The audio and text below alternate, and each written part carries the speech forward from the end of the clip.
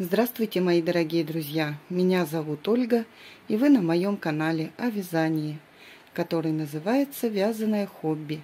Сегодня я хочу показать вам готовую работу. Это вот такой топ, который связан для моей дочери. Ну вот, она его еще не забрала.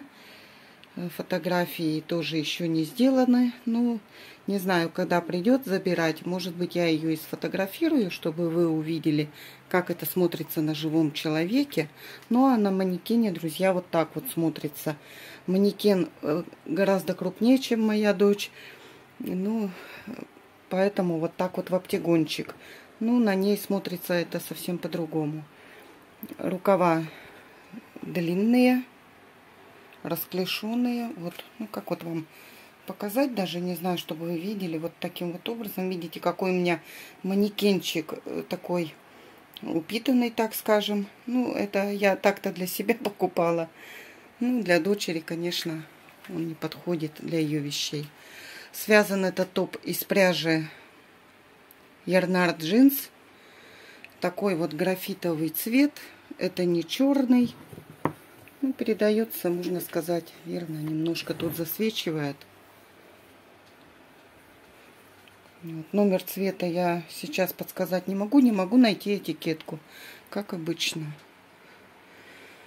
Хотя до этого в предыдущих видео я называла цвет пряжи, ну номер цвета. Вот такая штучка получилась. Вязала крючком 2,25 кловером. Так что вот. Края вот здесь обработала пико Подумала, что это будет смотреться неплохо. Кошкины волосы везде. Вот я не знаю, как спасаться от них. Они везде, друзья. И здесь тоже пеку обработала. Вот, жду дочь, не идет, говорит некогда. Ну вот я не знаю, как, как еще достучаться до своего ребенка. Сама так хотела эту штучку, и, и вот штучка готова, а ребенка до сих пор нет. Не знаю, жду, жду, жду, жду, а она все меня завтраками кормит. Мама мне некогда, мама, я вся в делах, вся в заботах. Она погулять время есть. Ну ладно, не будем обижаться, да?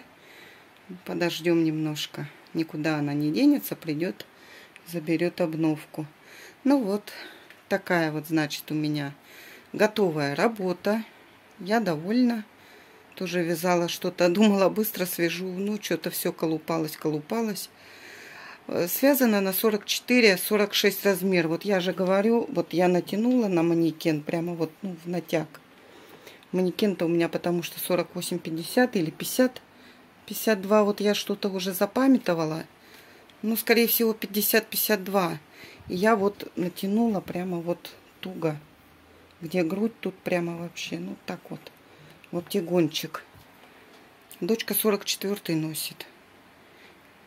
И я вязала это немножко с запасиком, ну, чтобы она надела, и ей было, ну, не сковывало движение, вот как вот сейчас на манекене, да, чтобы не в оптигон было, а чтобы немножко было посвободнее. Со свободой мы с ней договаривались вязать, вот. Ну ладно, сейчас я хочу показать процессики свои, которые я вязала. Новинок никаких, никаких нет у меня, но есть идеи, о которых я хочу сейчас с вами поговорить. Так, друзья, наверное, все-таки надо ниже опустить. Что-то я как-то не рассчитала. Давайте я сейчас чуть-чуть пониже опущу. Так, что у меня здесь, значит, такое?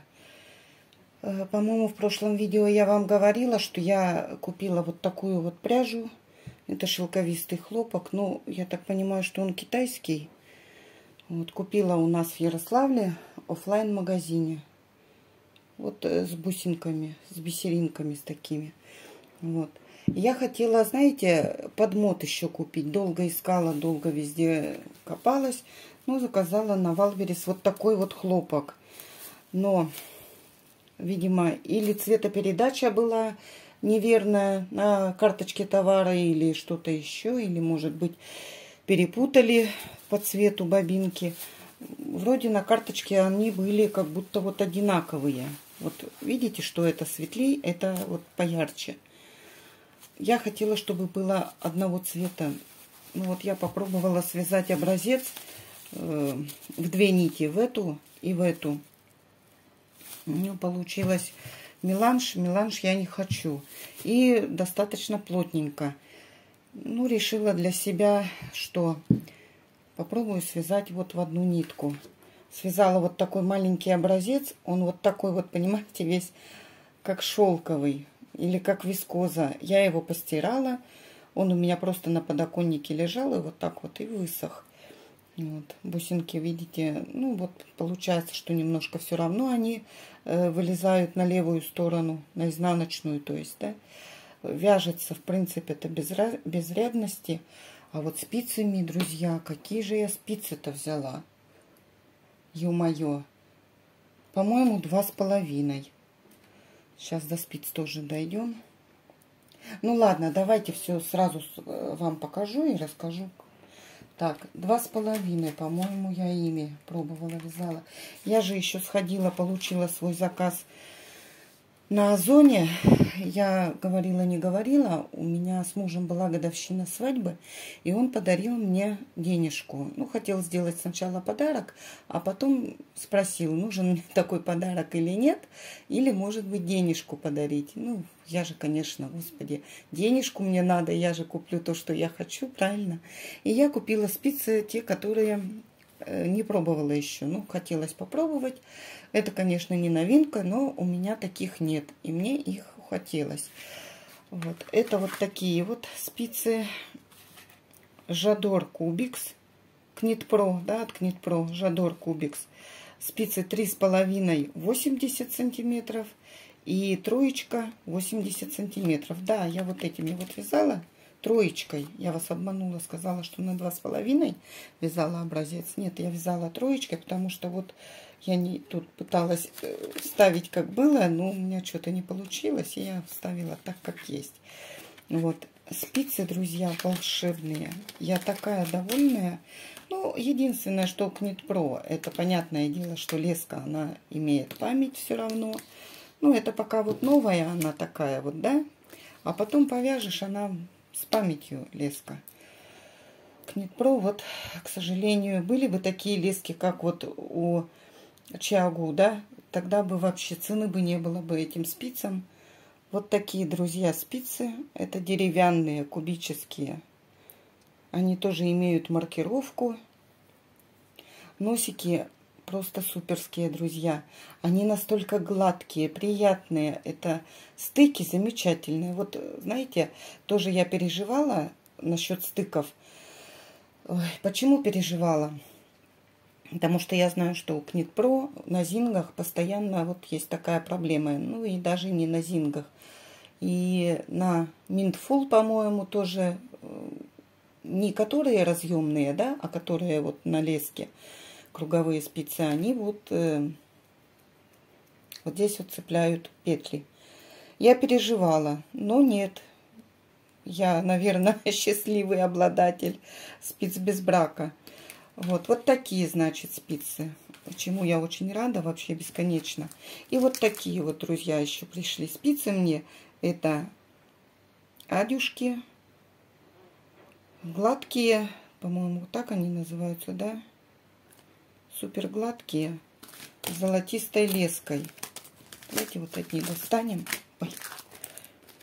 Цены, конечно, не дешевые, но, знаете, Зато эти спицы останутся у меня как подарок. Правильно ведь?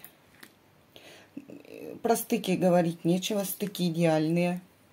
Про леску я тоже знаю, ну, как бы по отзывам, что она в будущем очень, ну, как приходит негодность, да, быстро.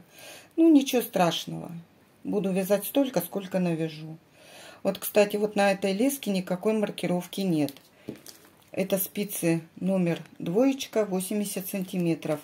А вот два с половиной 80 сантиметров. Здесь маркировка есть на леске. Ну, может, потому что это тонкая такая леска, и на ней нет маркировки. Хотя, в принципе, они похожи одинаковые, не тоньше. Ну, не знаю почему. Ну, вы сами понимаете, спицы Адди это просто супер. Вот. Ну, захотелось мне, вот я их и купила. Вот. Буду вязать, наслаждаться, радоваться и думать о муже, да, какой у меня хороший муж, какие подарочки он мне делает. Так, ну, ладно, вот с этими покупками все.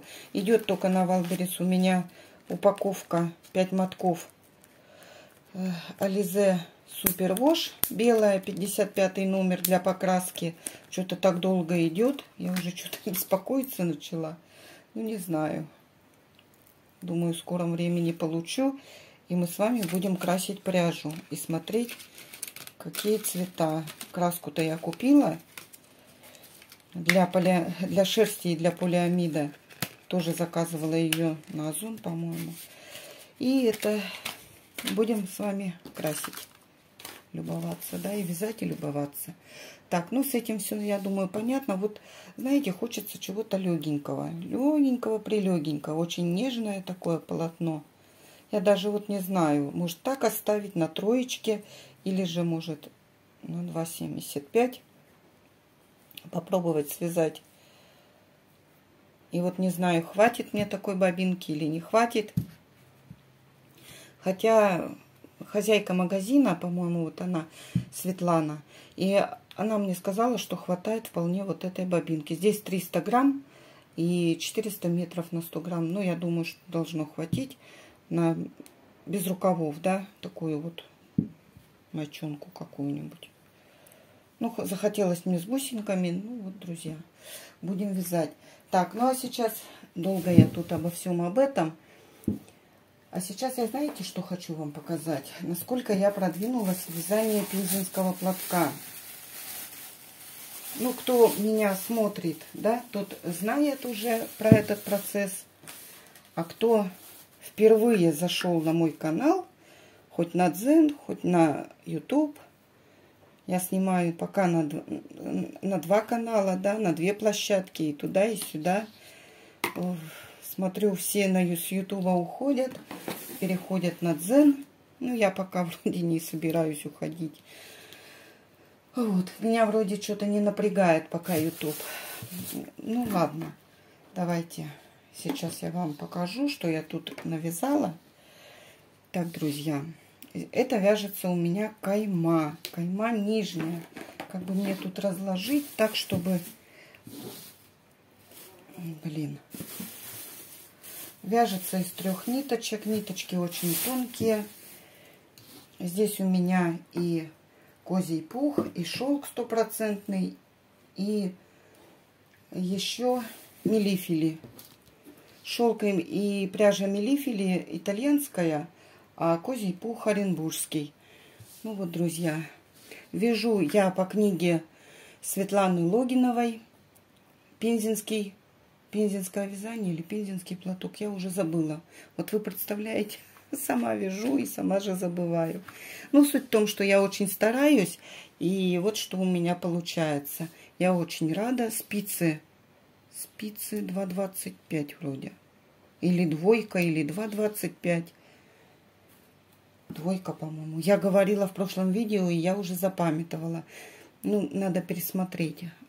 А что пересмотреть-то вот у меня? Какими спицами-то я вяжу? Двойка, друзья. Эти спицы, я думаю, тоже уже все знают. Они довольно-таки не, не новые. У меня вот эти спицы уже, ну, года два, наверное. Просто я не всеми номерами вязала, как бы. У меня есть на 100 леска набор. И вот набор на 65 сантиметров леска. Вот. Такая красота, мне так нравится. Ну вот козий пол, друзья, он немного колковатый. Хотя я стараюсь выбирать э, этот, как это называется, ось. И вы посмотрите, есть даже соринка. Вот видите, да, торчит соломинка. Вот. Ну, оси достаточно много. Вот прямо вот видно. Видите, как, как колючечки такие торчат. Вот. Ну, я стараюсь выбирать, ну, конечно же, мне все не выбрать. Ну, сколько могу, ладно. Вот, я связала, значит, вот один угол. Это, получается, нижний левый угол. Перешла к вязанию правого угла.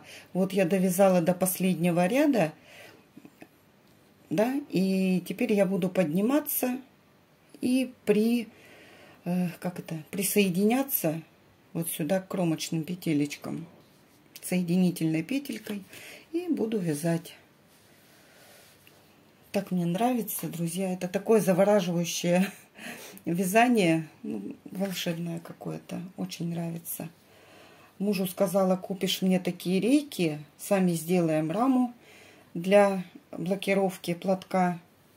Ну, палантина, вернее, это не платок у меня вяжется, это палантин вяжется. Вот довяжу, значит, этот угол и буду набирать петли уже на середину. Вот. Думаю, что платок будет очень нежный, хотя вот тут в три ниточки. Можно было бы вязать еще в две нитки, был бы еще нежней. Но он такой, понимаете, это, ну, струящийся. А когда после блокировки будет, я думаю, вообще будет супер-пупер супер -пупер класс, да. Кто см смотрит мои видео, тот знает, что я еще вяжу синий платок. Ну, он не синий, он такой фиолетово-синий, может быть.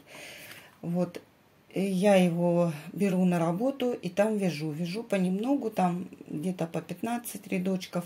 Продвижение у меня там хорошее. Ну вот еще немножечко я продвинусь. И я обязательно вам покажу, сколько я провязала. Вот. А сейчас я еще хочу показать вам кофточку, которую я вяжу из детского хлопка. Насколько я там продвинулась. Немного, но все-таки есть продвижение. Ну вот, друзья. Вот я провязала здесь от подрезов, как вы видите, уже приличненько. Довязана до талии, уже полностью до талии. И осталось мне тут, ну, я не знаю, сколько провязать. Я не измеряла сантиметров, ну, не так уж и много. Я, конечно, стараюсь, стараюсь как могу, но очень жарко, очень жарко. Вы понимаете, это, наверное, жара влияет на хотение вязать. Прямо вот такая вот какая-то... Только подумаешь, вот повязал бы в голове, да, мысли такие, но как подумаешь, что надо брать спицы, пряжу, и вот руки, вот сейчас я с вами разговариваю, и они у меня все равно влажные. А вяжется влажными руками, сами знаете, когда, ну, кто вяжет, тот понимает, о чем идет речь. Так, опять я напомню тем, кто любит писать в комментариях, где схема, хотя я уже каждый раз об этом говорю, что схема находится на Дзене, друзья. Очень много таких, знаете, неприятных комментариев пишут мне под моим видео, когда вот я говорю, что схема находится на Дзене. Вот. И если хотите, я могу ее добавить ВКонтакте. Ну, я не знаю, люди... Ой, боже мой, люди такие комментарии пишут, ну вот хоть стой, хоть падай, вы знаете. И действительно, почему-то вот на Дзене таких нету. На Ютубе такие есть люди. Вот откуда они берутся, я не знаю. И действительно, вот, ну, не хочется, не хочется снимать, чтобы, потому что, э, ну, чтобы вот так вот не писали. Неприятно это. Ну, почему они такие злые, я не знаю. Что их там, Почему они такие неудовлетворенные жизнью? Ну, найдите себе по душе занятия, наслаждайтесь.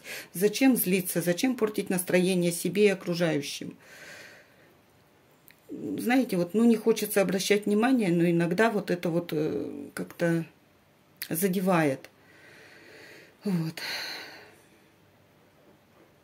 Прямо таким требовательным тоном э, чего-то требуют. Ну, вот вы же меня на работу не нанимали и мне не платите, почему я кому-то что-то должна, вот как-то я не могу этого понять. Вот. Ну ладно, давайте не будем о грустном, давайте о хорошем, да. А вот, друзья, ну вот вяжется, примерила, все хорошо, все мне нравится. Э, все не постирала, все думаю о том, что нужно постирать и разложить, и посмотреть, да, как это, как этот узор растянется, тянется очень прямо и вширь, и в длину. Вот, очень хочется посмотреть, но что-то вот, не знаю, руки не доходят у меня постирать. Ну и все, друзья. Я, наверное, больше показывать ничего сейчас уже не буду. Продвижений больше таких каких-то масштабных у меня нет. Пожелаю вам хорошего настроения, мирного неба над головой, отменного здоровья. Почаще улыбаться, друзья. Почаще улыбаться. И тогда люди к вам потянутся. Вот так вот скажем, да? Вот. Э, и побольше вам творческих идей, заниматься творчеством, да, чтобы не грустить. И кто вяжет, пожелаю легких петелек и всего самого-самого доброго. С вами была Ольга на вязаном хобби. Всем пока. До новых встреч на моих новых роликах.